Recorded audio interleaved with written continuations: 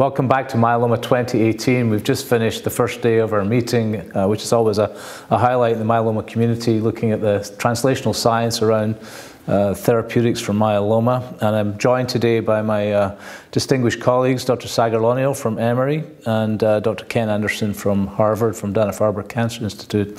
So let's just get right into it and let's uh, get your first impressions of what you heard today that was uh, of interest to the myeloma community was exciting. Ken, do you want to start us off? Surely. Um, once again, this year, um, remarkable progress. It doesn't seem possible that every year it can keep uh, improving and getting better like this. Uh, but we learned an awful lot about, on the one hand, precision medicine in myeloma. So the ability to profile cells genetically and epigenetically um, not only in the bone marrow, but actually at a single cell level, single cell sequencing, even in the peripheral blood. And we also looked at and heard wonderful talks about uh, cell-free DNA. In other words, looking at actual the genetic material from a myeloma cell circulating in the peripheral blood. Not actually substituting for testing the bone marrow, but clearly reflecting what's going on in the bone marrow and giving us a better picture of really the whole body uh, involvement with myeloma at a given point in time.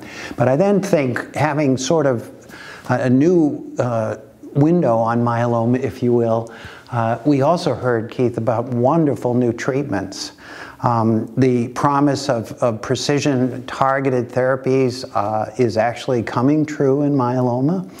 Uh, it's very complicated because myeloma is complicated to start with and continues to evolve, but nonetheless, there were new classes of agents. You yourself had screened a number of uh, available drugs and found a new target uh, in our disease. Um, and then complementing the progress in precision medicine was exciting data about immune therapies. And uh, honestly, um, that really is, in my view, very exciting. We had a lot of discussions about how we can get in patients an immune response against their own tumor. And I'm of the view, and we had a panel discussion about this, is how can we combine, on the one hand, the targeted treatments, precision medicine, with the immune therapies, get rid of myeloma, minimal residual disease, potentially with targeted therapies, but restore immune function in the host so that these responses can be long term. So we really, um, you know, it's a hugely exciting time and all kinds of reason for optimism. That's a great summary of the day. Sagar, what did you, uh, what did you take home? Yeah, you know, I think one of my favorite parts was the precision medicine has it been a bust or not sort of discussion, and um, I will I will take a slightly different view than you did. I think precision medicine in myeloma thus far has not been terribly successful. Uh, but I think the tools that we heard about, like single cell sequencing, really give us the opportunity to hone in on when you start a diagnosis, you may have 10 or 12 clones, but hopefully by the end of induction, by the end of transplant, you're down to one or two clones, and single cell sequencing may be able to get us there, and that's where precision medicine may be its most effective. So that was a really neat uh, idea, mm -hmm. I think. In, in, terms of new targets, uh, you know, I'm really excited about MCL1 as a target and seeing the data on potential um, uh, the use of linkers, whether it's degronimids or VH, uh, VHL as a potential linker. That concept is, is just scientifically such a neat idea, and to be able to see that come to fruition with important targets in myeloma, I think was really was really interesting. Yes, I, you know, I, I, to me, uh, the, you know, I had set up the question of is precision medicine successful in myeloma or not, and I found that very encouraging conversation because as we talked it through, it became clear that there's been many um, experiences people are beginning to have where applying precision medicine is showing mm -hmm. promise for at least part of the myeloma, and when we combine it with immunotherapies or with existing drugs, uh, or monoclonal antibodies, then, then we're beginning to see these things working in harmony. And the new technologies are allowing us to dissect that at, at very fine specificity. I was also quite taken by uh, some of the diagnostic workup. You mentioned cell-free DNA. I was also uh, quite uh, uh, enjoyed Angela Dispenzieri's mm -hmm. discussion on using mass spectrometry for, for protein electrophoresis replacement, which I think has got huge potential. What, um, what else got your attention today? I mean, we heard about a lot about new targets, Ken. You talked about many of them in your presentation, and that was also very encouraging that there's so many new things still bubbling up that we have to address.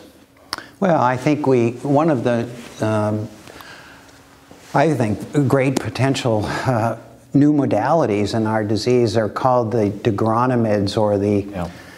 The idea that drugs can be designed now that actually turn on the body's natural degradation system. And we, should, we in myeloma should be proud of this because it derived from the immunomodulatory drugs. Right. But there were several talks here in terms of uh, synthesizing a novel class of drug that is part immunomodulatory drug, so it binds to cereblon and it turns on the natural proteasome system for degradation. But these drugs are also linking to the particular substrate on the cell surface or in the cytosol of a myeloma cell that you want to degrade. And BRD4 is one such target. People are talking about how to get rid of MYC, c-MYC, and uh, uh, MCL1 was also discussed. But this is a whole new world because even when medicines couldn't be designed, these degraders are really coming to the clinic. I do think there's, um, for the first time, going to be epigenetic therapies in myeloma, and I mentioned a particular one that we're excited about called PRMT5 inhibitors, just because there's a drug and it's coming. And then we have another uh, idea that, you know, proteasome inhibitors in myeloma have arguably be, been among the most successful drugs ever. But that whole pathway can be blocked at different levels. Even upstream, where you have the ubiquitinated misfolded protein, before it enters the proteasome, is introduced to the proteasome by a ubiquitin proteasome receptor. And we have now uh, successfully blocked at that level, and there's a company that's working with us, and I think we'll be able to test the concept. If you block up above the proteasome, can you actually overcome, even when there's resistance to degradation blockade down lower, if you block upstream in the same pathway, or maybe you can even augment and add and block at two levels. But anyway, there's, there's um, uh, some of these are old news, the proteasome ubiquitin system, but at a new spot. And some of them are entirely new therapies, such as the epigenetic treatments. You know, I, I think some of the drugs you're talking about are probably still a few years away. What did you, you are excited about MCL1? Do you want to tell the audience a little bit about that, Sagar? What's got you excited about that? Yeah, M MCL1 is sort of a cousin, if you will, of BCL2, and BCL2 is the target for venetoclax, for instance. And so, um, while venetoclax, I think, in a certain population of patients with myeloma, has been really very exciting, complete remissions in patients that have failed multiple therapies. Um, most myelomas are not BCL2 dependent, they are MCL1 dependent. And so um, the challenge with MCL1 has been first identifying a true MCL1 inhibitor. For years, I think we had things that didn't quite fit the bill and were billed as MCL1 inhibitors. But we finally have now three that I think are true bona fide MCL1 inhibitors, and those are in early phase clinical trials, and, and certainly the data in vitro uh, looks very exciting. Larry from our group has done a lot of work profiling patient samples and has found what he thinks is a sweet spot, uh, even in patients who may be BCL2 dependent. They may also be MCL1 dependent as well. So I think it really does give us a lot of promise.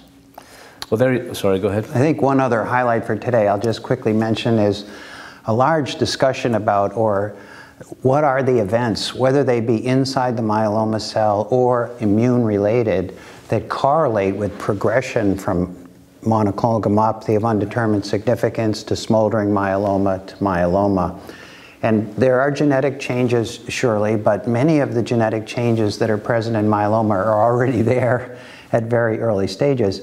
So we heard some nice new data and exciting data how people are right now and will be in the future monitoring, for example, the host immune function. Yeah. What happens to the host patient immune system as their disease progresses? And that obviously has very important implications for treatment. And, and I think, you know, the, the interesting thing about that, because the microenvironment monitoring is not something we've been able to do effectively until we had single cell sequencing technology. So that again, I think was sort of the technology of the day, if you will. Um, but I, I, think when we talk about CAR T cells, and that there was a lot of talk around CAR T cells today. We're going to get into those tomorrow. And I know there's going to be more tomorrow, but, but this whole idea of is it just the cell or is it the other things in the body that impact outcomes? And we can't really measure that up until recently. Well, there you have it. On our first day, we had more precise and sensitive diagnostics, new technologies for drug discovery, new drugs, new immune therapies, and uh, more progress. So uh, we'll meet again tomorrow and we'll add immunotherapy to the list. So thank you for joining.